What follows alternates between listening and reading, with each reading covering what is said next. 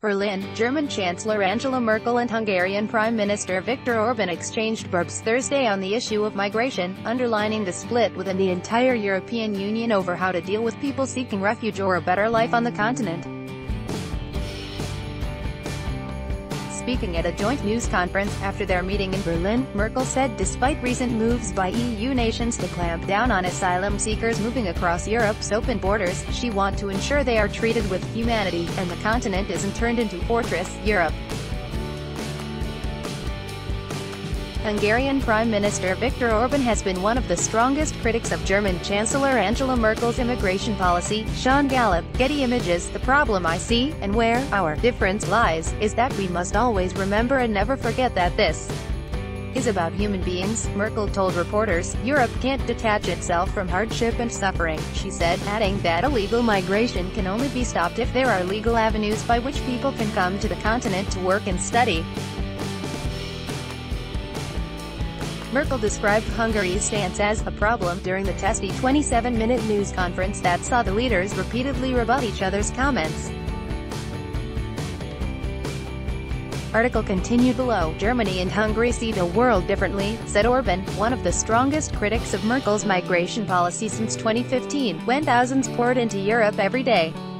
While he expressed a willingness to talk, Orban said his position hadn't changed over the past three years. We only know one solution, close the borders, he said, adding that if Europe offers support to refugees, it will be taken as an invitation. If people can come, they will come, he said.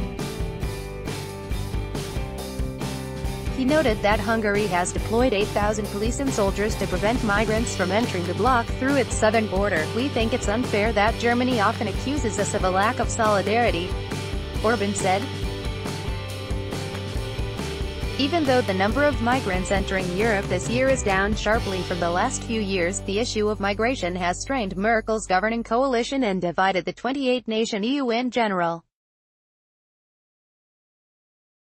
In the last month Italy and Malta have refused to take in migrants rescued at sea by aid groups, and Merkel has had to agree with her conservative allies to turn back asylum seekers who've registered in another of the bloc's nations. Article continued Bella Orban made clear that he believes asylum seekers who register in Hungary must have come through Greece or Bulgaria first, and his country therefore won't feel obliged to take them if they are turned back by Germany. Migrants are supposed to be returned to where they first entered the EU and applied for asylum, but those regulations have been largely unenforced.